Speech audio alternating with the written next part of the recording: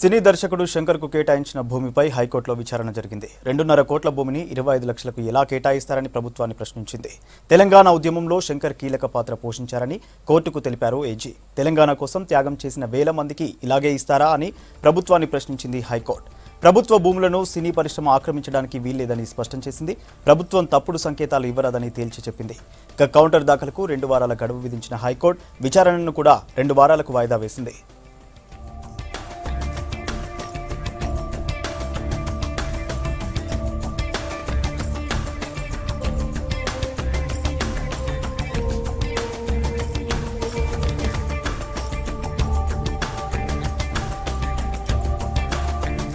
తెలంగాణ ఉద్యమంలో శంకర్ కీలక పాత్ర పోషించారని కోర్టుకు తెలిపారు ఏజీ. తెలంగాణ కోసం త్యాగం చేసిన వేల మందికి ఇలాగే ఇస్తారా అని ప్రభుత్వాన్ని ప్రశ్నించింది హైకోర్టు. ప్రభుత్వ భూములను సినీ పరిశ్రమ ఆక్రమించడానికి వీల్లేదని స్పష్టం చేసింది. ప్రభుత్వం తప్పుడు సంకేతాలు ఇవ్వరాదని తేల్చి చెప్పింది. ఇక కౌంటర్ దాఖలకు రెండు వారాల గడువు విధించిన హైకోర్టు విచారణను కూడా రెండు వారాలకు వాయిదా వేసింది.